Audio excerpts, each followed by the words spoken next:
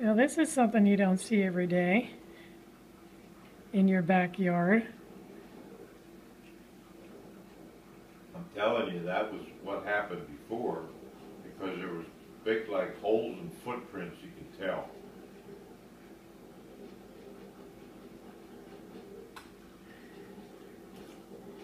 Here he comes.